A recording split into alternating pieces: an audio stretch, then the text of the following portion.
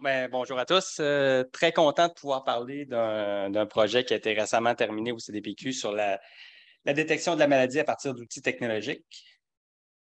Euh, quand on parle de maladie, on peut parler de plein de choses. Dans ce projet-là, on s'intéresse surtout euh, aux maladies respiratoires. Quand on parle de maladies respiratoires dans le secteur porcin, on parle surtout d'une maladie importante, c'est le SRRP qui, fait des dégâts du côté économique puis aussi qui nuit aux objectifs de réduction d'utilisation des antibiotiques, autant les, objectifs euh, du MAPAC ou des éleveurs de porc. Ah, euh, bon, j'avais une animation. Mais euh, dans le fond, l'hypothèse de travail, c'est qu'un animal malade va avoir un comportement différent d'un animal sain.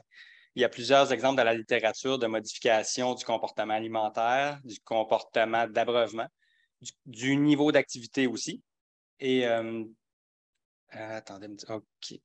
OK, voilà. Euh, dans une ferme commerciale, ces observations-là sont faites par, un être humain et euh, dans, par le personnel de la ferme. Dans un contexte de pénurie de main-d'œuvre, ça, amène des difficultés parce que ces mesures-là sont subjectives. Donc, ça prend du, un œil habitué à observer des animaux et aussi, ce sont des mesures qui prennent beaucoup de temps avec les technologies, l'évolution des technologies, on pense aux caméras, on pense à, différentes technologies, on, peut penser que la technologie peut remplacer ou améliorer l'œil humain. Euh, par contre, il y a certaines incertitudes là-dedans. Il, y a, très peu d'études objectives qui, évaluent la performance réelle des, nouveaux, outils technologiques. Euh, il y a aussi l'aspect durabilité dans certains cas, on, fait des preuves de concept, on, fait des tests en restreint, mais est-ce que ces équipements-là sont durables? Et aussi, l'autre élément très important du point de vue du producteur, c'est le retour sur investissement. Donc, une nouvelle technologie amène un investissement. Euh, est-ce que, est que ça vaut la peine d'un point de vue économique? C'est vraiment dans ce contexte-là qu'on a fait l'étude qui visait à, comparer différentes technologies applicables en ferme, ça c'est important, euh, qui permet la détection hâtive, non évasive et automatisée de la maladie. Comme je le disais plus tôt, euh, on va surtout parler des maladies respiratoires. Puis nous, on s'intéressait au porc en croissance, donc en pouponnière et en engraissement. Euh, c'est un projet réalisé en partenariat avec les éleveurs de porc du Québec, l'équipementier québécois Conception Romain et le groupe PicGen Canada, qui est un regroupement de compagnies génétiques. Et aussi, c'est un projet qui a été financé par le MAPAC dans le cadre du Partenariat canadien de l'agriculture je vous, euh, dans le fond, un des partenaires, PicGen Canada, on fait un gros projet euh, à notre station de recherche de Deschambault, au CDPQ. Euh, dans le fond, je vais vous en parler une minute parce que c'est un projet global et mon projet et le projet de Marie-Pierre Fortier qui va présenter juste après moi s'insère dans ce projet-là. dans le fond, c'était à chaque trois semaines, on avait un lot de 60 porcelets qui arrivaient dans une quarantaine, trois semaines pour acclimatation. Ensuite, entrer dans notre pouponnière où il y avait un challenge sanitaire euh, assez fort euh, par exposition, euh, exposition au pathogène à partir d'un contact avec le lot précédent. Donc, la semaine 1, le lot était en contact avec un lot qui était déjà là, qui était déjà infecté. Les semaines 2 et 3, le, lot était seul, donc le lot précédent se retrouvait en engraissement, où le challenge était un peu moins intense. Et la quatrième semaine, un nouveau lot arrivait. Donc là, c'est un, modèle d'infection naturelle. Pourquoi on faisait ça? Le, projet global, l'idée, c'était d'avoir un environnement où, les compagnies euh, génétiques pouvaient évaluer la, résilience de leurs animaux aux maladies respiratoires. Donc, pour nous, c'était un environnement parfait pour euh, tester des technologies pour euh, détecter la maladie. quand je disais des technologies applicables, l'idée, ce n'était pas nécessairement d'appliquer toutes les types de technologies possibles, comme euh, euh, par exemple, on aurait pu tester des accéléromètres ou aussi très récemment, j'ai vu qu'il y a un produit sur le, la détection de la toux qui vient d'être euh, qui, est, vendu commercialement. On a surtout ciblé des données qu'on qu'on a déjà dans des fermes de recherche, puis potentiellement, à certains égards, peut être appliqué à, la ferme commerciale, mais à différentes échelles. Donc, on, on s'est intéressé à l'abreuvement, à l'alimentation, puis aussi en pouponnière, euh, un système de vision. Vous voyez ici une image de la caméra de conception romain euh, avec les, bon, la position des animaux, euh, dépendamment sont, à, sont à quel endroit dans le parc. Et aussi en pouponnière, ce qu'on avait en plus, on avait des observations quotidiennes et individuelles de la santé de l'animal. Sans aller dans les détails, c'était une cote de 1 à 5, 5 étant en bonne santé. Et euh, aussi, on, avait, on pouvait utiliser les conditions d'ambiance et la température comme euh, covariable. Et tout ça, euh, nous, on a fait les, analyses à l'échelle individuelle et à l'échelle du parc. Je sais qu'en ferme commerciale, on risque plus d'avoir des données à l'échelle de la salle, mais nous, on voulait aller un peu plus fin, à, l'échelle la plus fine qu'on pouvait aller. Donc, ça donne autour de 1500 animaux à l'échelle individuelle. à l'échelle du parc, on était autour de 80 ou 107, dépendamment de la salle. Et dans notre cas, pour détecter la maladie, c'était, on considérait que l'animal était malade dès qu'il, y avait un, un traitement de santé associé à un problème respiratoire. Sinon, l'animal était considéré comme sain. À l'échelle du parc, comme on était dans, un mode de challenge, ça aurait été trop restrictif. Si on avait utilisé la même règle, on aurait eu seulement des parcs malades. Donc, c'était vraiment le premier décès euh, dans le parc. Pour les autres paramètres, c'est des paramètres plus pour la calibration. si ça intéresse des gens, on, pourra, je pourrais répondre à des questions euh, durant la période de questions. Euh, même chose pour les algorithmes comparés. On ne veut pas dépendre d'un seul algorithme. Donc, on en a testé quatre différents.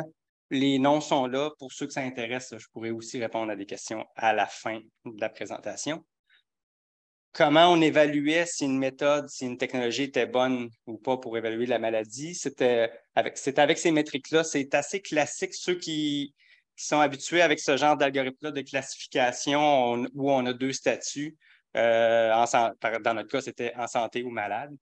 Euh, donc, on a deux statuts réels, deux statuts prédictifs. À gauche, ce qu'on voit, c'est une matrice de, de confusion qu'on appelle avec des vrais positifs, vrais négatifs, faux positifs, faux négatifs. Et euh, les les deux métriques principales, c'est la sensibilité et la spécificité. C'est, dans, le fond, c'est qu'on veut, on veut des bonnes prédictions, mais on veut des, bonnes prédictions lorsque l'animal est malade. Ça, c'est la sensibilité. Et on veut des bonnes prédictions lorsque l'animal est en santé, c'est la spécificité. Parce qu'on ne veut pas, euh, dans le fond, on pourrait avoir un bon modèle qui détecte toujours la maladie, mais, dans le fond, il y, aurait une bonne sensibilité, mais il donnerait trop de faux positifs. Donc, c'est vraiment important d'avoir euh, un bon équilibre entre, entre les deux. Donc, on a sorti plusieurs résultats dans le projet. J'en présente trois aujourd'hui. Euh, pardon. Euh, ici, c'est en pouponnière à l'échelle individuelle. dans ce cas-ci, on a seulement l'alimentation individuelle avec les codes de santé en pouponnière. Donc, c'était un environnement où le challenge était quand même assez fort. Et ce qu'on peut voir, c'est qu'avec les données d'alimentation, on allait chercher une information, euh, des performances de l'ordre à 5 à 8% supérieures par rapport au code de santé. Donc, si on prend uniquement les données d'alimentation, on a une meilleure capacité prédictive par rapport à l'observation humaine, même si l'observation humaine, je le rappelle, c'est observation quotidienne et chaque animal individuellement était, observé. Donc, c'était quand même euh, assez chronophage comme exercice. Euh, par contre, avec les taux de succès qu'on a, on est, je dirais, en bas de 70% même la veille de l'événement. C'est intéressant, mais pas assez fort pour dire qu'on peut faire de la prédiction entièrement automatisée à partir de ces données-là. Euh, toujours à l'échelle individuelle, mais en engraissement. Donc là, on, le voit avec les bonnes spécificités que les animaux étaient plus en santé. Euh, là, ici, on a l'abreuvement, l'alimentation, euh, aussi avec les, les différentes combinaisons des variables avec la température des salles aussi. ce que ça montre, c'est encore une fois, les données d'alimentation sont ont une meilleure capacité prédictive. Et c'est quand même très bien. Même la veille, euh, la veille de l'événement, on atteint presque 80% euh, de, détection, si on peut dire. Mais euh, donc, c'est des, seuils intéressants, mais selon la littérature, on, parle souvent d'un seuil de peut-être 85% pour dire que ça pourrait être intéressant pour une application commerciale. Donc, c'est intéressant, mais de là à dire que cet outil-là pourrait être utilisé de manière entièrement automatisée, il y, aura encore peut-être des gains à aller chercher. Bon, euh, à l'échelle du parc, là, je présente le résultat en pouponnière. On a eu un résultat euh, comparable en engraissement. Euh, prenez pas le temps de regarder toutes les lignes. Là, les résultats ne sont pas, pas très concluants à ce niveau-là. On avait l'alimentation, on avait l'abreuvement, on avait aussi les systèmes de vision. Le, problème, une hypothèse qu'on a pour expliquer ces résultats-là, c'est peut-être que euh, comme on avait un challenge assez fort en ferme, on n'avait pas une réelle distinction entre un parc, on n'avait pas réellement des parcs en santé et des parcs malades. On avait des parcs affectés contre des parcs moins affectés. Donc, ça rend la détection très difficile. Euh, donc, euh, il faudrait peut-être refaire l'exercice dans une ferme avec moins de pathogènes et aussi avec différentes métriques.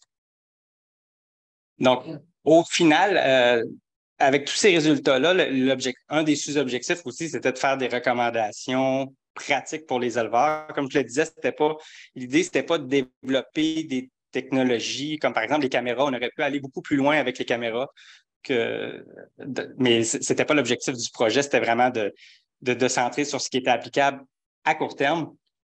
Donc, pour les éleveurs, c'est que la technologie, c'est un outil d'aide à la décision, mais c'est pas un outil à court terme qui permet de prendre une décision euh, par rapport aux maladies, euh, en fait, une décision entièrement automatisée. C'est toujours la technologie aide la personne en ferme à prendre la décision. Donc, la recommandation, c'est, dans le fond, c'est au lieu d'acheter, euh, sans, nécessairement acheter une nouvelle technologie, mais de valoriser les données existantes en ferme. Dans les fermes commerciales, aujourd'hui, il y a déjà de la donnée. Donc, si possible, à valoriser. Puis là, j'ai mis certains concepts comme prioriser la saisie euh, électronique, éviter la double saisie. Et euh, les deux derniers, centraliser les données puis utiliser des outils de visualisation. Euh, ça, c'est dans les, par exemple, les logiciels de gestion de troupeaux qui existent sur le marché. vous pouvez savoir, dans certains cas, l'aliment, évidemment pas à l'échelle de l'animal, comme nous, on le fait, mais à l'échelle au moins du troupeau. C'est quand même intéressant. des fois, des compteurs d'eau peuvent être ajoutés aussi, les paramètres, les données de ventilation avec les registres de, traitement. Tout ça peut aider à prendre des bonnes décisions. Et aussi, le dernier, c'est un point aussi qui a été mentionné dans un, dans un projet européen euh, qui a été euh, sur l'élevage de précision où ils ont appliqué euh, des technologies dans plusieurs fermes, c'est qu'il y a des effets intangibles aussi. Même si, en plus du retour sur l'investissement qui est très important, il peut avoir d'autres avantages de l'utilisation de la technologie, comme par exemple ça peut faciliter le travail en ferme, ça peut aider à la rétention de la main-d'œuvre. Donc, il faut, faut pas négliger ces effets-là non plus. Pardon.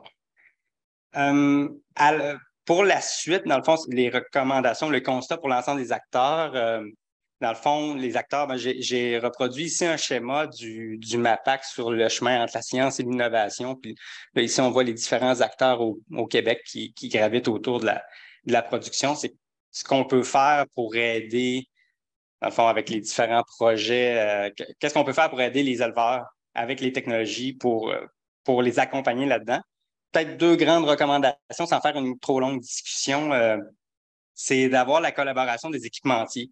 Parce que je pense à, force de faire des projets en technologie, pour moi, c'est essentiel. les équipementiers sont essentiels pour le, pour le, le, transfert technologique. On peut faire des présentations devant des experts, devant de, devant des consultants, mais la meilleure façon d'amener la technologie à la ferme et d'avancer là-dedans, c'est un équipementier qui, qui, les, qui fait ces équipements-là. Donc, il faut réussir à les intéresser. Puis le dernier point, c'est être clair sur les objectifs. Euh, je pense qu'il y a deux types de projets qui peuvent être réalisés euh, avec la technologie qui, qui, peuvent ultimement aider les éleveurs. Il y a des projets qui sont plus en amont, comme j'ai écrit des preuves de concept.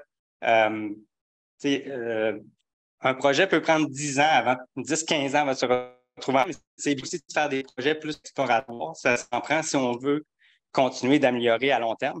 Mais si on veut des applications à court terme, euh, parce que des fois, les attentes, les attentes des producteurs, on a, on a eu un sondage récemment sur euh, c'est quoi vos attentes par rapport à la technologie. Puis on veut les, les producteurs sont, veulent pas trop faire d'investissement nécessairement. Ils veulent valoriser les équipements qu'ils ont déjà. Donc, je pense que c'est ça aussi. Il y a un travail qui n'a pas été fait encore, c'est de valoriser toutes les données qui sont prises en ferme pour aider à prendre des décisions. Là, nous, on a appliqué pour les maladies respiratoires en, en pouponnière, mais on peut le faire en maternité avec d'autres équipements aussi. Donc, ça, c'est un travail qui, à mon avis, n'a pas encore été fait à, à, grande échelle et on devrait plus s'attaquer à ça. Donc, euh, voilà. Merci.